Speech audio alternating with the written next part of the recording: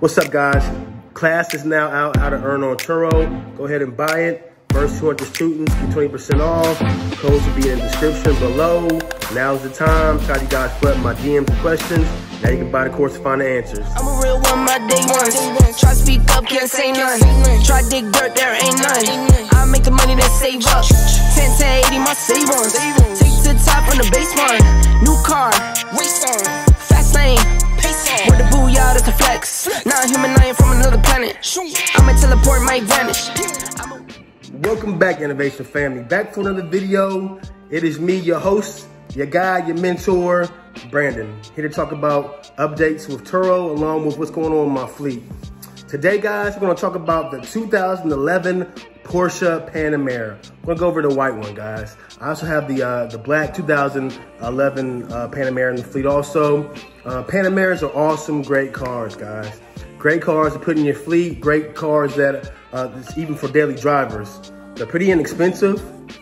Um, right now, the car market is really crazy as far as prices, so it's hard to really gauge how much you can get a good one for. Probably around $30,000, $35,000 range with the low mileage. Even for 11, 12, they're still pretty pricey. So, um, but today we're gonna cover the white Panamera. Uh, great car to have in your fleet.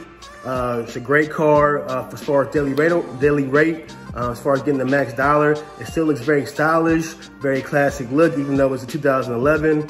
Um, the Panamera, it's just, the interior really is just, you know, it's ahead of its time for that year.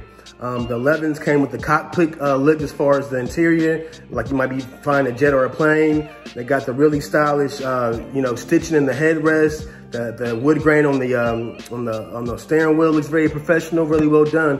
Porsches really have high quality, which is why they do really well over you know over the course of time. Even ones from 05, 06, 07 do really well in secondary markets. So the Panameras first came out in 2010. That was the first year for them and they keep thriving ever since. The, I think the body style changed, I believe in 17 is where you had the more modern look with the uh, headlights and all, of the uh, interior with the bigger LCD screen and probably has more of the uh, better um, technology packages too, maybe with Apple CarPlay, Android Auto and all that good stuff. So, but here's the 2011 white Panamera, guys. Comes with 22 inch rims. Um, so it's really sporty and fun, uh, not just to drive, but as far as the look too uh, really makes it stick out with the big uh, the big boy rims, 22 inches. So check it out, guys.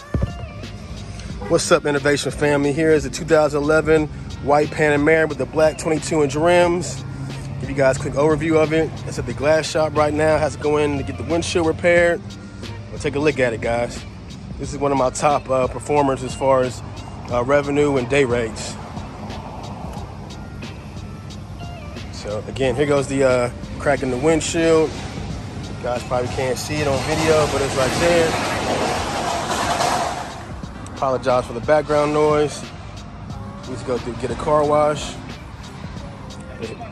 How you doing, my man? Yeah. Ah, maybe one day, man. Has a crack in the windshield. So here she goes at the glass shop, guys.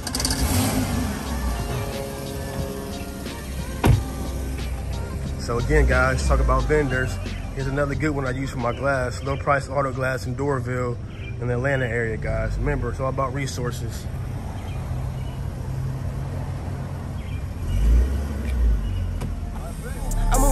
Day. Try speak up, can't say none. Try dig dirt, there ain't none. I make the money that save up. 10 to 80, my.